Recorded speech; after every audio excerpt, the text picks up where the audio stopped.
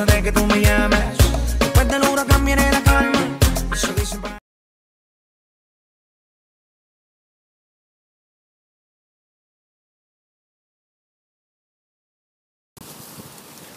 Festival Focus Jelinek, progetto speciale dedicato alla scrittura dell'autrice austriaca tra le voci più acute e pungenti della scena contemporanea, premio Nobel per la letteratura nel 2004. Questa è la conferenza di presentazione nella sala Stabat Mater.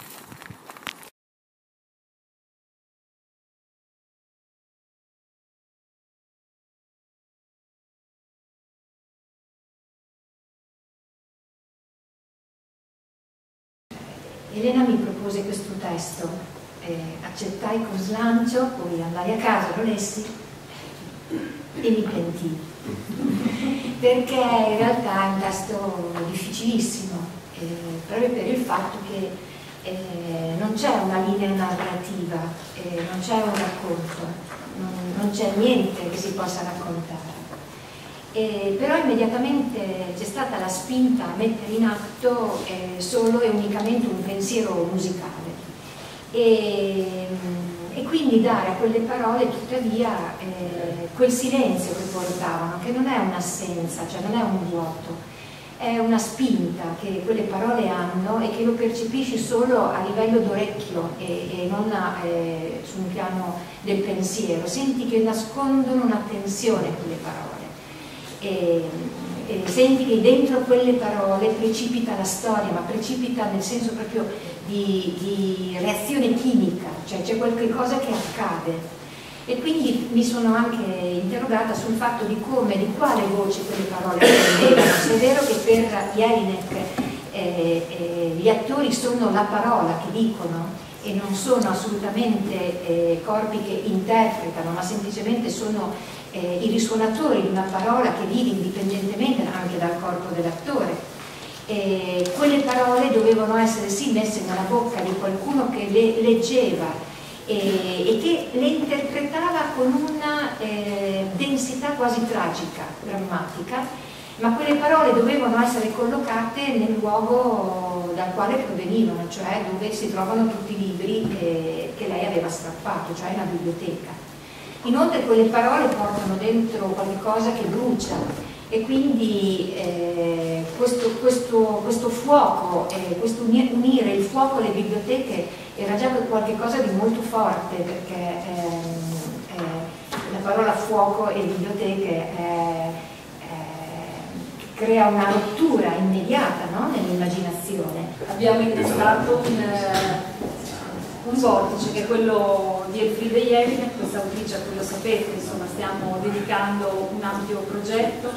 eh, che è nato, c'è anche Angela Mattutano, che è nato proprio dal confronto con Angela, eh, l'approfondimento su questa autrice su cui lei aveva lavorato in questi anni e intorno a questa autrice si è dispiegato poi eh, nella forma che, che, conoscete, che ha preso il via nei giorni scorsi, questo festival per città, per artisti, che attraversa più luoghi culturali, teatri, festival e appunto biblioteche. E sulle biblioteche appunto abbiamo, io e Chiara, mi abbiamo fatto convergere appunto un'attenzione eh, fondamentale, un'attenzione su cui anche io da qualche anno sto lavorando da un punto di vista eh, di attenzione e di riflessione proprio sul luogo della biblioteca come luogo prezioso rispetto all'incontro con i pubblici eh, e rispetto anche a come i luoghi delle biblioteche stanno definendo e ridefinendo anche i loro luoghi all'interno della nostra contemporaneità. Parmigiani sì. è un'immagine che accompagna, lo sapete, sia il Festival Fotosieri, l'immagine generale del progetto appartiene alle sue opere,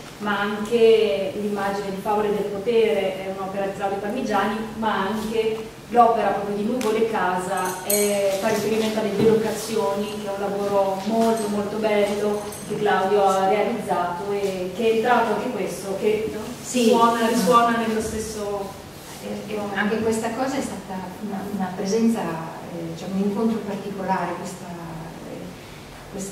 incontro con Claudio, perché ehm, una delle opere che forse nella mia adolescenza aveva proprio toccato è stata la delocazione, il fatto di una presenza eh, che marca il confine della storia, marca un tempo senza metterci una data, senza metterci un orario. Ma la cosa interessante è che dietro a questo silenzio che Claudio Parmigiani eh, teorizza c'è un'idea del nostro tempo, nostra, del nostro essere artisti cittadini, dell'etica che l'arte comunque mette in campo e che mi ritrova eh, in un pensiero eh, che è proprio quello dell'immaginazione come chiave politica. Eh, l'immaginazione come forma di conoscenza ma anche come forma di dialogo umano e di conoscenza umana. E, e, e in, questa, in, queste affermazioni eh, di Parmigiani il silenzio, appunto questa cenere, è un silenzio attivo che agisce dentro la forma dell'opera. E questo silenzio mi riporta alla, alla Jelinek che nasconde dentro al testo una presenza comunque. C'è una materia che si muove anche se non la vediamo. E, ed è questo silenzio, ed è questa la cosa che secondo me è interessante, e Bologna ha questa opera bellissima eh, di Claudio, e, e questo silenzio, eh, lui dice esattamente, eh, il silenzio nell'arte è un modo per prendere posizione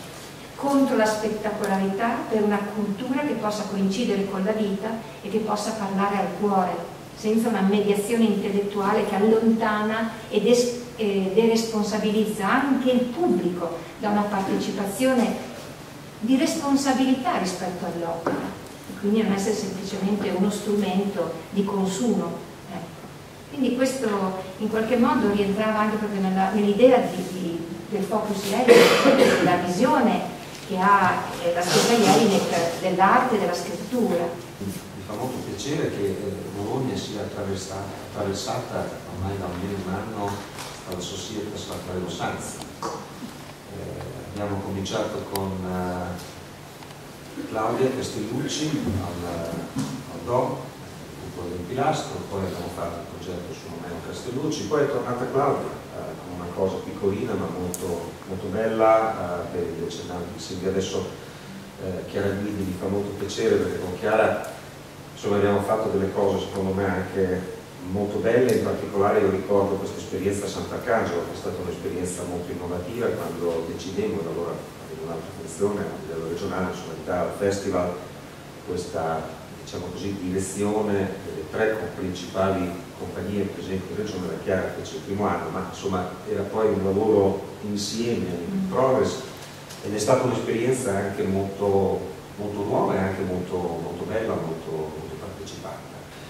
L'ultima cosa è questa, ehm, mi piace molto, ho già detto varie volte, credo che sia anche un qualcosa che mi auguro possa, diciamo così, trovare un suo ambito anche più definito come linee strategiche eh, il modello che io chiamo il modello dei progetti speciali, cioè quando io parlo del ruolo della regione, della città metropolitana eh, e di Bologna, città del contemporaneo, mi rifaccio proprio a questo tipo di modalità, cioè il fatto che eh, da una parte Bologna con i suoi progetti speciali che dialoga con le realtà, diciamo così, produttive sicuramente nel caso della Raffaello Sanz una realtà produttiva di importanza nazionale e internazionale e quindi mette diciamo così, al servizio Bologna di una realtà produttiva regionale. Dall'altra parte i progetti speciali regionali eh, che, che, possono diciamo, intrecciarsi con questo tipo di, di, lavoro, come il caso di Focus Iene, che vedono sicuramente Bologna partecipe, come è giusto che sia, ma intrecciano realtà e addirittura anche eh, diciamo così, eh, iniziative già presenti, perché anche questo è un elemento secondo me importante da sottolineare nel costruire un coordinamento, per cui se leggete alcuni, anche solo alcuni di questi, diciamo così, eh, incontri, favole potere, questi spettacoli però sono all'interno di vie, sono all'interno del Festival di Mantica, quindi c'è diciamo così, un lavoro che mette in, in relazione eh, attività che mh, si sviluppano all'interno della regione.